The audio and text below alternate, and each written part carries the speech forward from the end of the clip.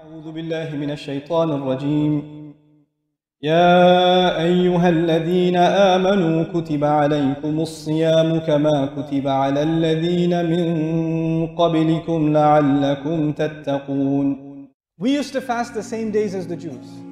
Ayat came down. Ya ayyuhalladhina amanu kutiba alaykum siyam Those of you who have iman, fasting has been made mandatory upon you. Okay?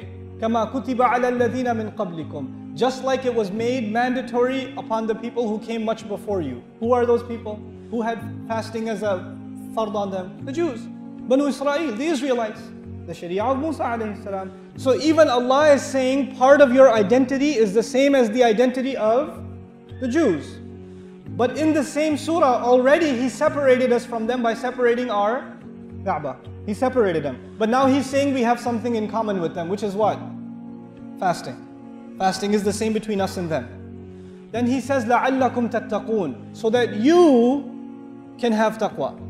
You people can have taqwa. Now it's interesting that in the first half of Surah Al Baqarah, Allah talked about who again? If you were paying attention, who does Allah talk about?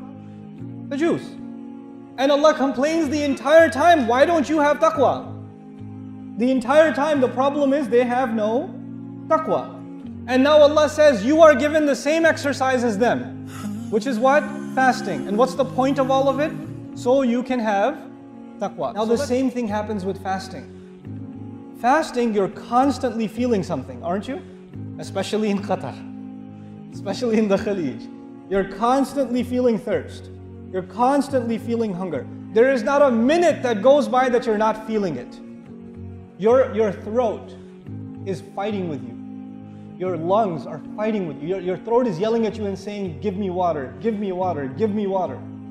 Whether you like it or not, your throat is begging you and you tell your throat, shut up, throat, it's not Maghrib yet. Your stomach starts talking to you, sometimes very loudly. Hey man, come on, what's going on up there? Where's the supply? you know? And you're like, it's Fajr, dude. You're, you starting already? You know? You have a conversation with yourself. But you know what? There's a war going on inside you when you're fasting. There's a war, physical war going on inside you.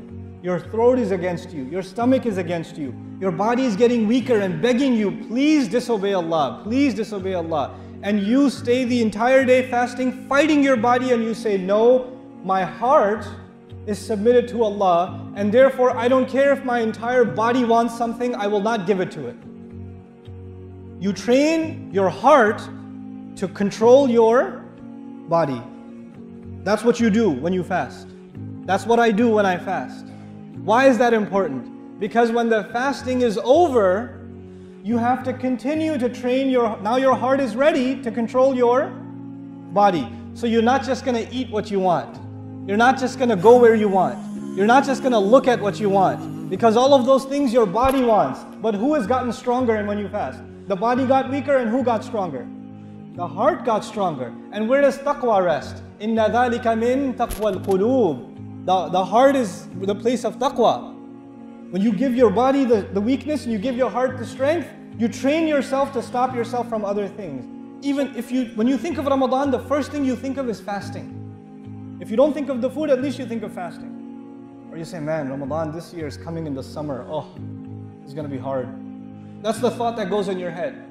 Allah says in the Quran, the first thing you should think about when you hear the word Ramadan, Shahru Ramadan, الذي أنزل فيه القرآن not الذي كتب فيه الصيام الذي أنزل فيه القرآن the month in which Quran came down Ramadan the month in which the Quran came down the thing that makes Ramadan special is not the fasting the thing that makes Ramadan special is the Quran that is Allah telling us that is Allah telling us now you have to ask yourself if you are fasting in Ramadan, but you don't recite any Quran, you're fasting in Ramadan, but you didn't memorize not even one page, the whole 30 days, not even half a page, not even two ayahs. You didn't memorize anything in Quran, from the Quran. Then how, how do you understand what Allah is saying? The entire purpose of Ramadan is to celebrate the Quran. Our constitution is celebrated, it was revealed in the month of Ramadan. Allah didn't give us one day to celebrate, He gave us 30 days to celebrate the coming of the Quran. This is the month of Ramadan is the celebration of the fact that Allah made us an ummah.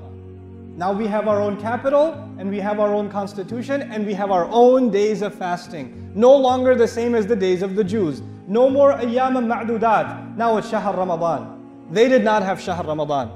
So eh, Allah made this guidance for all people. You know what that means? He made all human beings equal just by Quran, by the institution of Salat. We cannot be racist because we have Salat. We cannot be supremacist. We cannot think my nation is better than your nation. My nationality is better than your nationality. My language is better than your language. My skin color is better than your skin color. My village is better than your village. We can't do it. And you know when we are reminded that we can't do that? When we stand together in salat. When Bilal radiallahu anhu is standing next to Uthman radiallahu anhu, we are reminded that we're equal.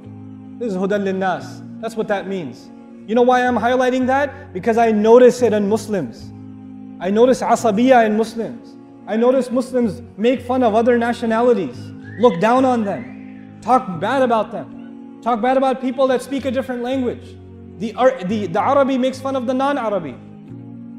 The Bangladeshi makes fun of the Pakistani. The Pakistani makes fun of the Indian. The Filipino makes fun of the Malaysian. What's going on here? Don't we make salat?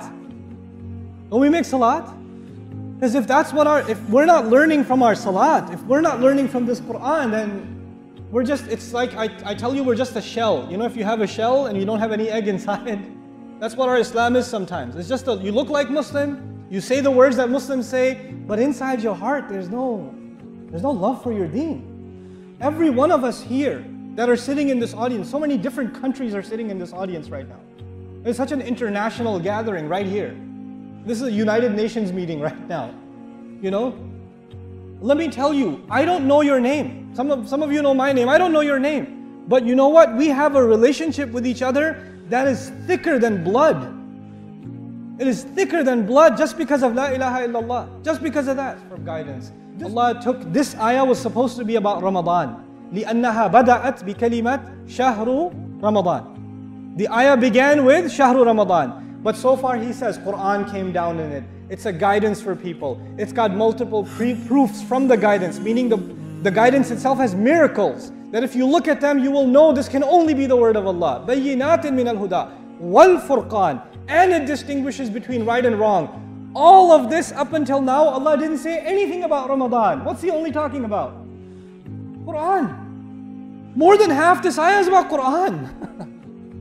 Why is He doing that? Because he wants to make sure no Muslim ever forgets that Ramadan is about the Quran. Ramadan is about the Quran. It's about the miracle of this book.